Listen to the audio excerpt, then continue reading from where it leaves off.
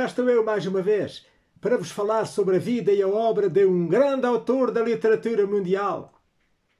O meu nome é Sebastião Barata e hoje vou falar-vos de Aldous Huxley, que foi um escritor inglês nascido em Godalming, na Inglaterra, em 1894 e falecido em Los Angeles, nos Estados Unidos da América, em 1963, mais conhecido pelo seu romance distópico Admirável Mundo Novo. Aldous Leonard Huxley nasceu a 25 de julho de 1894 em Godalming, no Surrey, na Inglaterra. Fazia parte da família de uma distinta elite intelectual. O seu avô paterno era Thomas Henry Huxley, um grande biólogo, defensor da teoria evolucionista Charles Darwin, que desenvolveu o conceito agnóstico, e o seu pai era o escritor Leonard Huxley.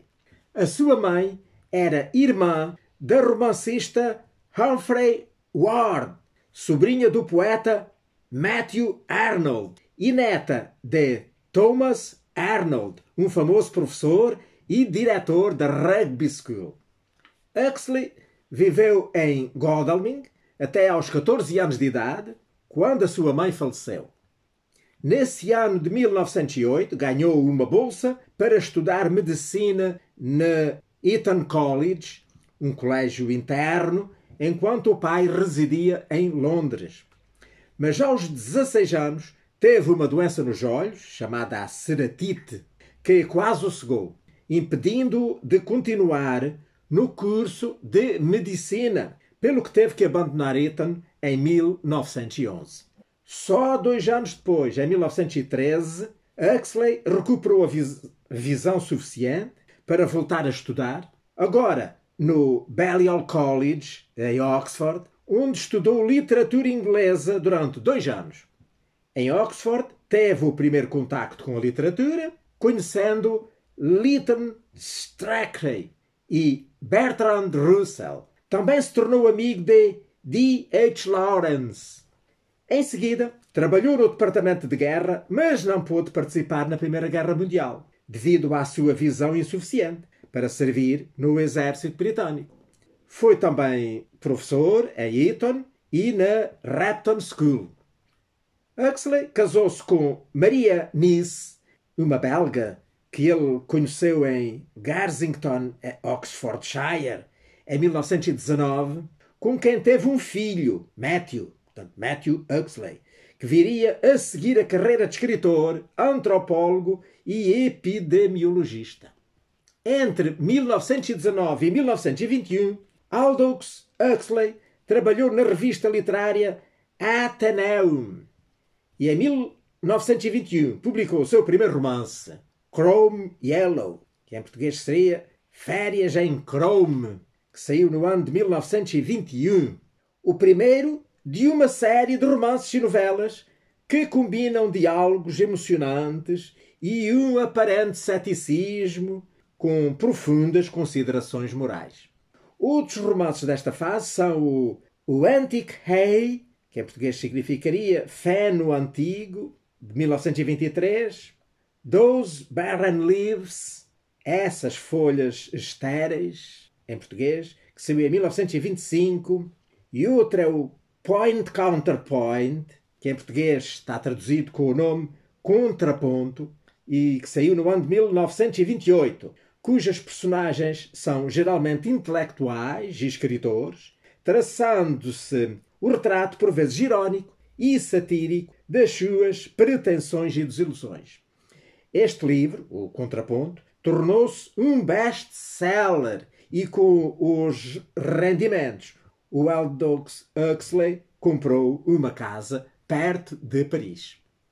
Huxley viveu a maior parte dos anos 20 na Itália fascista do Mussolini, que inspirou parte dos sistemas autoritários retratados nas suas obras, nomeadamente na sua obra-prima, Brave New World, que em português tem o nome Admirável Mundo Novo, que foi escrita durante quatro meses no ano de 1931.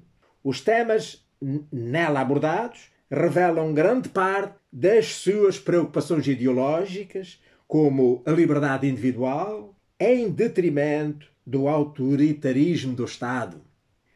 Huxley interessou-se pelo misticismo filosófico e pelo universalismo desde novo. E o primeiro livro sobre esse tema foi o romance Hileless in Gaza, que em português chama Sem Olhos em Gaza, e que saiu em 1936.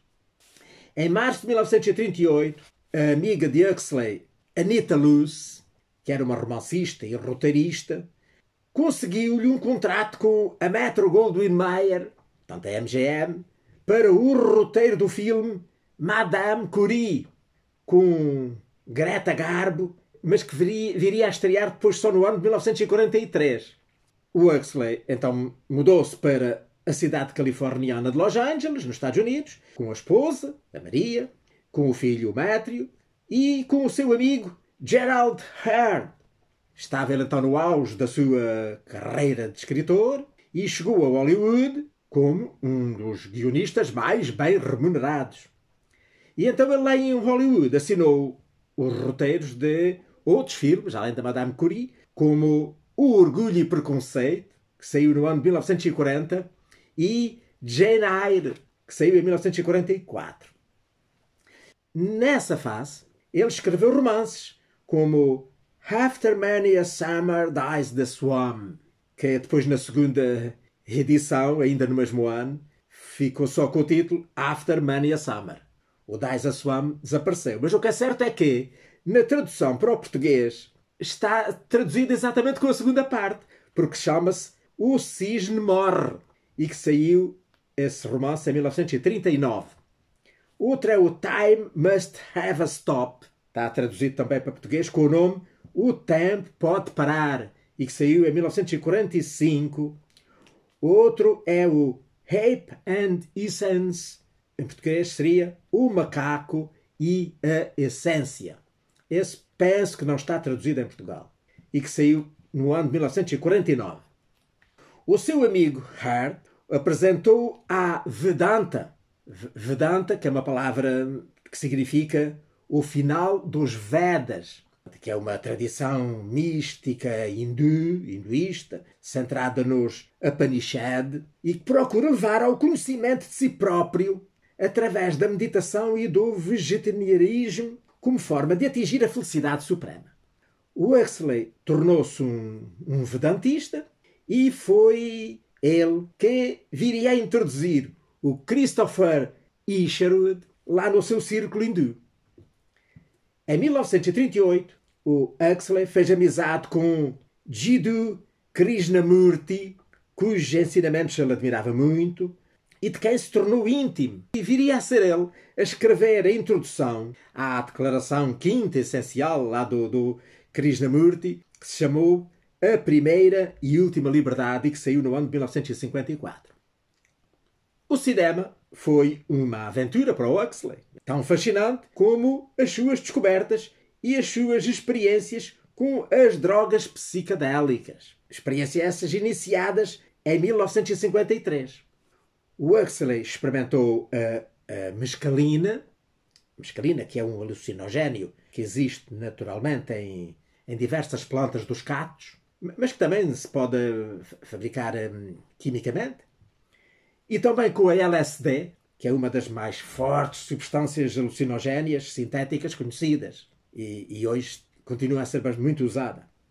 Esse seu envolvimento místico com as tradições orientais e com as drogas levou o escritor a escrever ensaios sobre esse assunto. O primeiro foi The Perennial Philosophy, a filosofia perene, que saiu em 1945, que ilustra semelhanças entre o misticismo ocidental e o oriental. O livro insiste em que existem realidades além dos cinco sentidos e que há um significado genuíno, superior para os seres humanos, para além das satisfações e das sensações sensuais, portanto, as sensações que nos são dadas pelos tais cinco sentidos.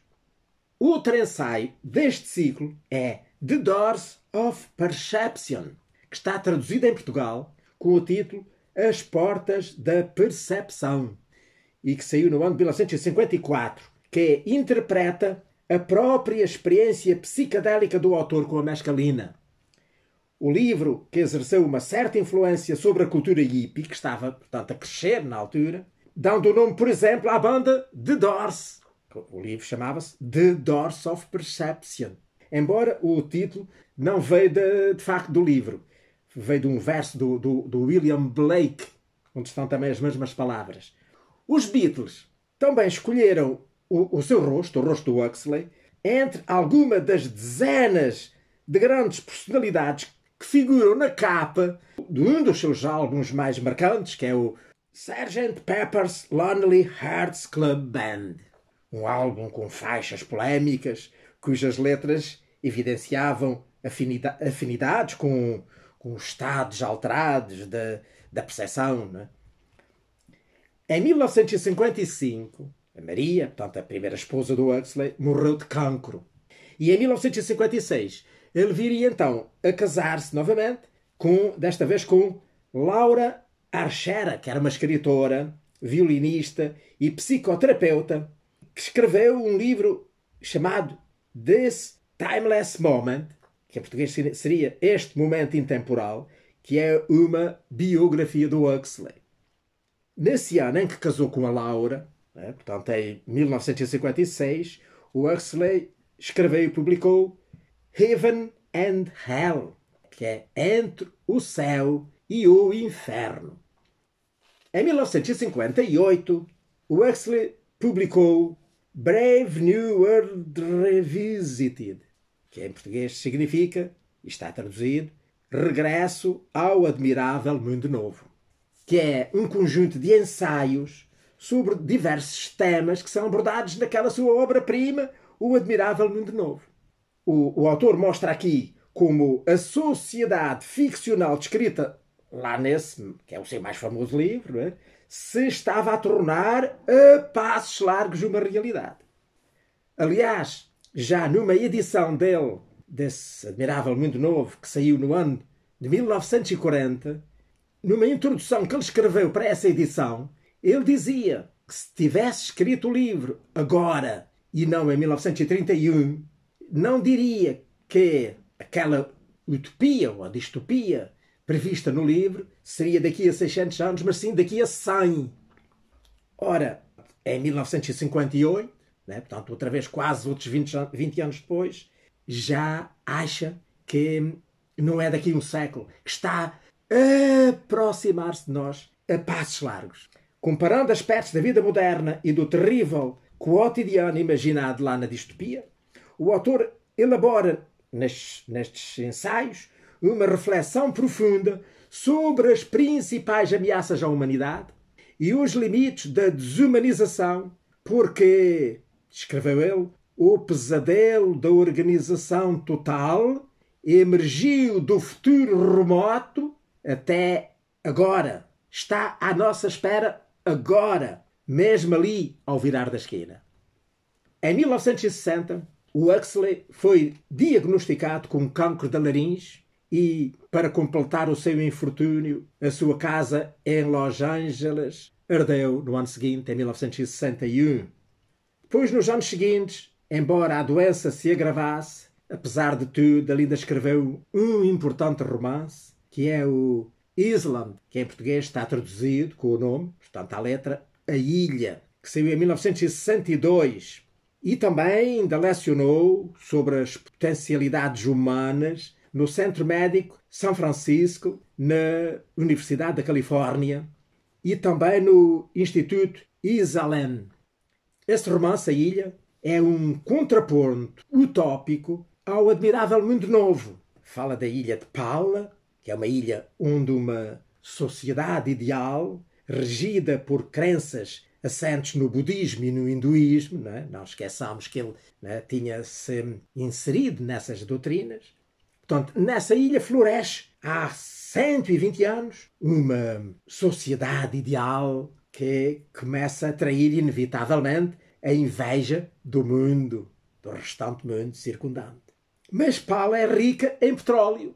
Isso começa a gerar uma conspiração para a invadir.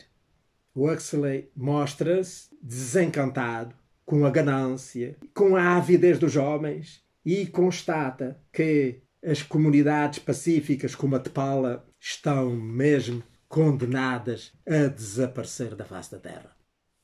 Em 9 de abril de 1962, Huxley foi informado de que tinha ganhado o título de Companion of Literature, portanto, da Royal Society of Literature, que é um grande galardão.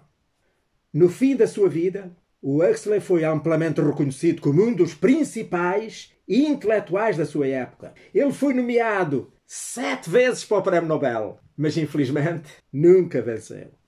Impossibilitado de falar nos últimos dias de vida, Huxley entregou um bilhete à sua esposa, a Laura, no qual escreveu LSD, vírgula, 100 micrograma, vírgula, intramuscular.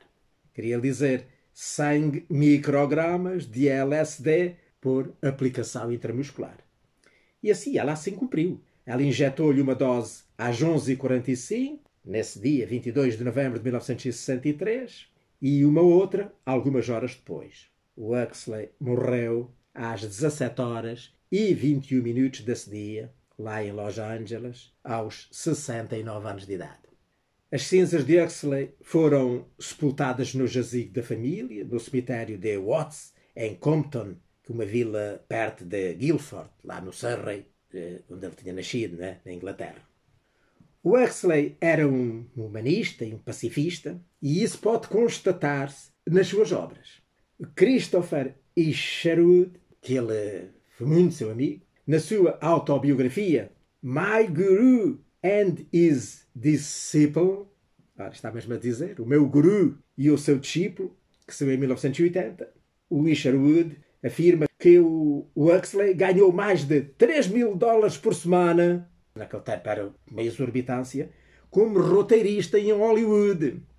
E que ele usou muito desse dinheiro para ajudar escritores e artistas judeus e, e também não judeus, mas de esquerda, a emigrarem da Alemanha, da Alemanha do, do Hitler, para se refugiarem nos Estados Unidos. O Huxley ganhou vários prémios importantes, como o James Tate Black Memorial Prize, pelo livro Também o Cisne Morre, que está traduzido em Portugal, como eu já disse. Ganhou o American Academy of Arts and Letters Award of Merit pelo Admirável Mundo Novo e ganhou, no ano de 1962, né, como já vimos, a Companion of Literature. Alguns dos seus livros foram adaptados ao cinema e à televisão, como por exemplo O Contraponto, que é o nome que tem em Portugal. Foi adaptado a uma minissérie da BBC no ano de 1968 um que está, não está traduzido em Portugal, mas está traduzido no Brasil, com o título Os Demónios de, de London. Foi adaptado ao cinema em 1971 pelo Ken Russell. Pois o Admirável Mundo Novo, esse teve duas adaptações na televisão americana, uma no ano de 1980 e outra no ano de 1998. Depois então desta resenha sobre a sua vida e obra, eu iria falar-vos daquele livro que eu mandei a ler esta semana, que não podia deixar de ser, foi o Admirável Mundo Novo. Numa edição antiga, muito antiga, de, dos, da, da, coleção Dois Mundos dos Livros do Brasil, é daquele, do tempo dos, em que os livros ainda vinham fechados e eu tive que andar toda a semana à medida que ia lendo com a minha faquinha, uma das minhas faquinhas, que eu tenho mais que uma, de abrir livros e abrindo e lendo, e abrindo e lendo. E, e descobrindo esta maravilha de livro que é O Admirável Mundo Novo. Então, O Admirável Mundo Novo, que é, como já vimos, o livro mais famoso do Aldous Huxley, que foi publicado no ano de 1932, no tempo em que a ditadura fascista estava a alcançar o poder na Alemanha, lá do Hitler, e que também o fascismo portanto, já era uma, uma realidade na, na, na Itália, do Mussolini, já há vários anos. Por outro lado, Também a ditadura comunista estava cada vez mais feroz na Rússia. O Stalin já estava a subir na, nas estruturas do partido e, e, alguns anos depois viria de facto a, a ser o, o secretário-geral e, e, e, o grande chefe da URSS. E, e de facto isto terá influenciado muito o, Huxley a escrever sobre estes temas neste livro. Então a narrativa passa-se no futuro, no futuro distópico, em que as pessoas são socialmente controladas por meio de uma avançada tecnologia e alienadas da realidade em que estão inseridas. A maternidade fisiológica, como a conhecemos, foi abolida. As crianças nascem de tubos de ensaio.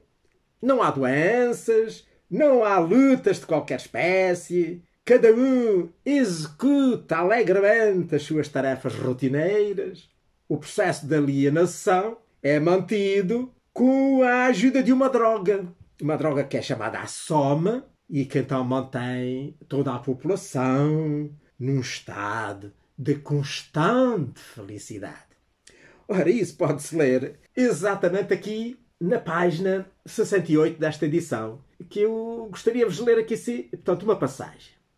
Diz assim: Presentemente, e eis o progresso, os velhos trabalham, os velhos copulam, os velhos não têm um instante, um momento para fugir ao prazer, para se sentarem e pensar. Ou se alguma vez por algum desastroso acaso, uma tal falha no tempo se escancarasse na substância sólida das suas distrações, há sempre o soma. O delicioso soma. Meio grama para uma folga de meio-dia. Um grama para um fim de semana. Dois gramas para uma viagem ao suntuoso Oriente. Três para uma sombria eternidade na Lua. Claro, tudo isto da imaginação.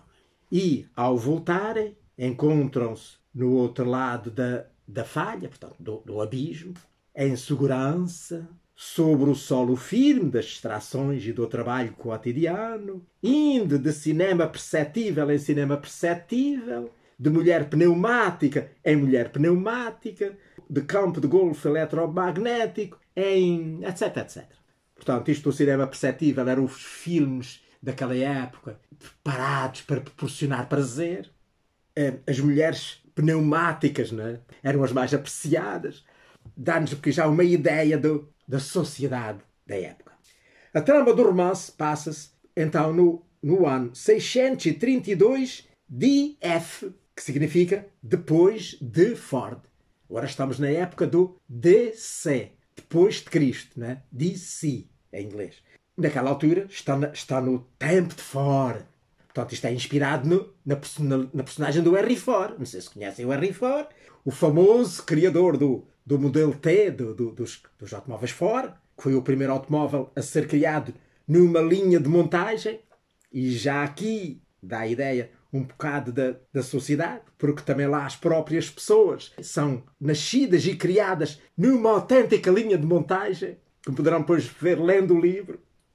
O Henry Ford era, então, adorado misticamente por todos como o Deus, o seu Deus, o Deus daquela civilização. O Estado Mundial é dominado pela ciência e caracteriza-se por uma sociedade em que não há família nuclear, mas assim uma espécie de grande família mundial. Todos pertencem a todos, incluindo a fazer sexo. Os homens e as mulheres, tanto eles como elas, gloriam-se da sua enorme coleção de conquistas. Os habitantes desse novo mundo são gerados em incubadoras no Centro de Incubação e Condicionamento, conhecido pelas iniciais DIC.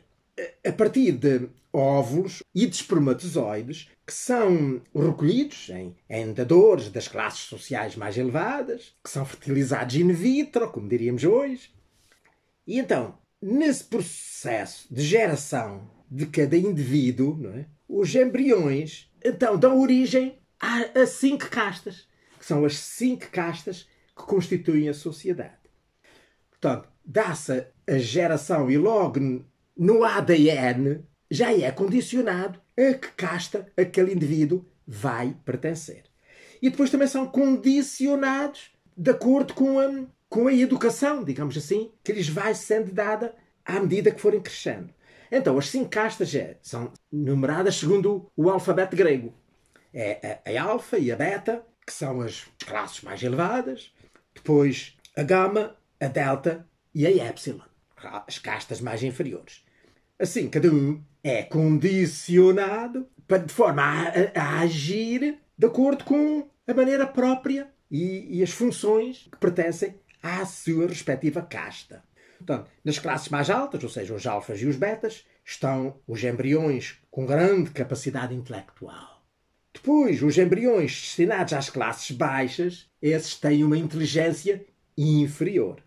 Enquanto os alfas lideram, os epsilões, não é? os da classe mais baixa, são destinados às, às funções mais baixas, ao, ao trabalho braçal, como, como depois explica o, o Sr. Foster, que é um, um especialista lá do, lá do, do, do, do Dick, né? num, num texto que eu agora gostaria de ler.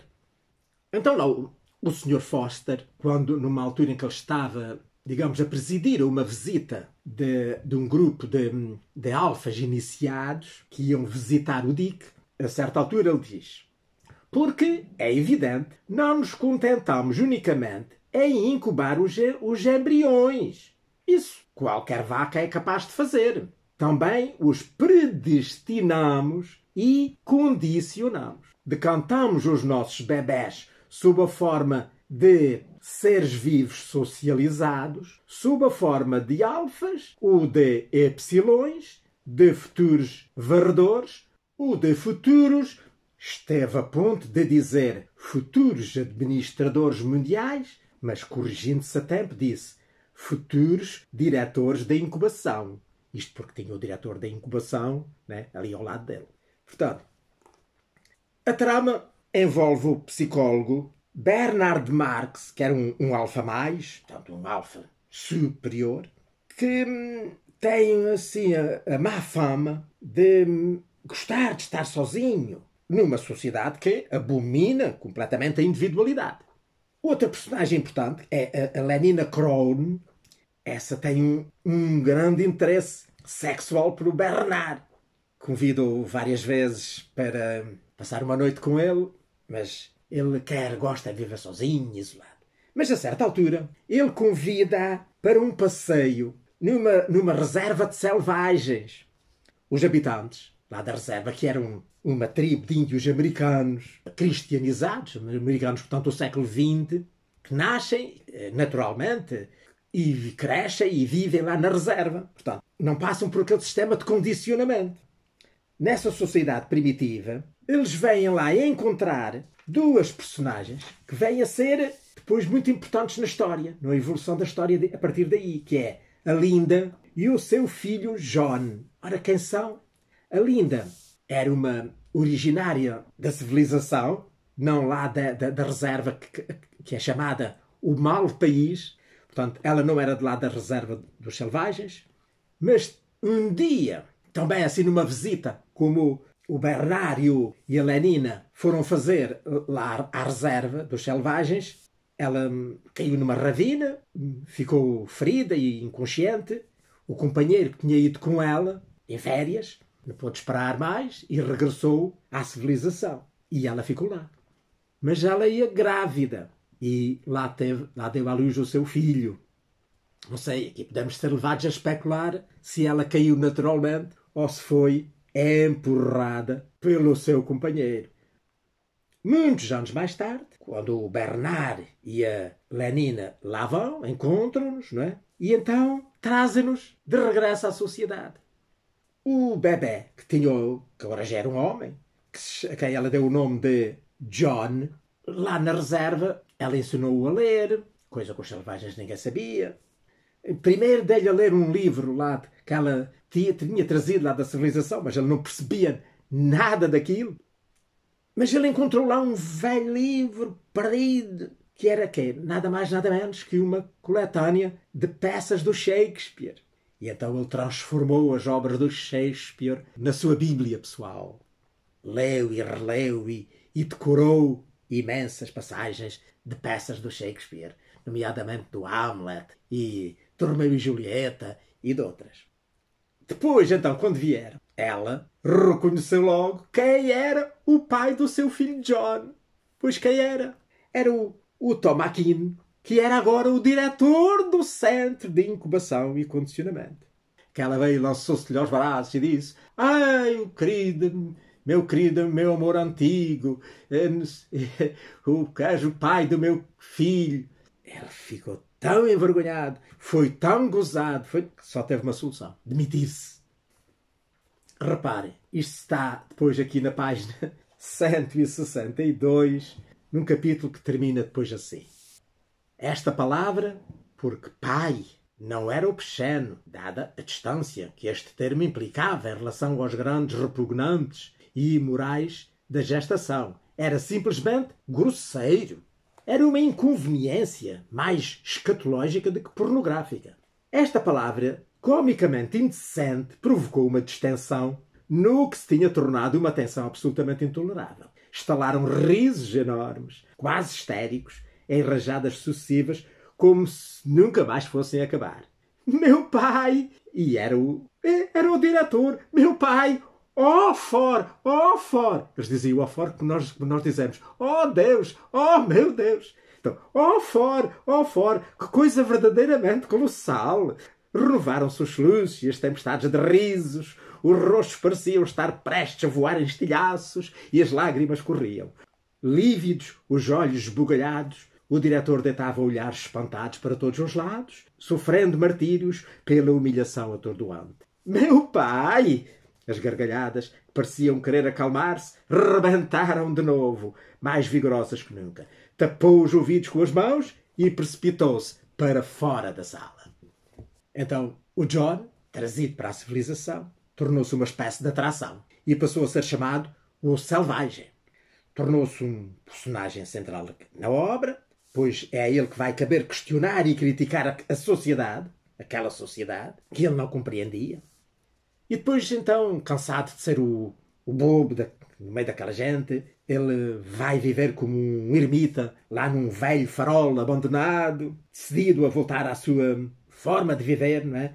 lá na tribo selvagem onde tinha nascido e crescido. Mas rapidamente os repórteres o encontram e os seus sonhos desmoronam-se. Assim, sem conseguir adaptar-se ao admirável mundo novo e não lhe sendo permitido viver lá a sua vida pré-fora, como ele queria, só uma coisa lhe restou: a morte. E é pois assim que termina o livro. Então, O Admirável Mundo Novo é uma obra trágica e satírica que vai na contramão do seu tempo, pois no início do século XX, quando foi escrito, a ciência e a tecnologia estavam a ser referenciadas como o milagre que ia resolver todos os problemas da humanidade.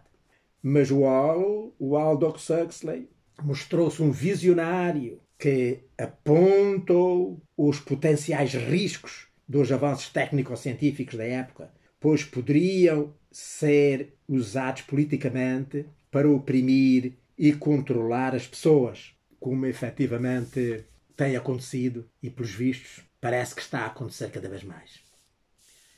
E pronto, olha, por aqui me fico por hoje. Espero que tenham gostado de mais esta conversa sobre um, um grande autor da literatura mundial. Espero ter vida e saúde para cá voltar na próxima semana para vos falar de novo sobre outro autor muito importante da literatura mundial. Ora, passem muito bem!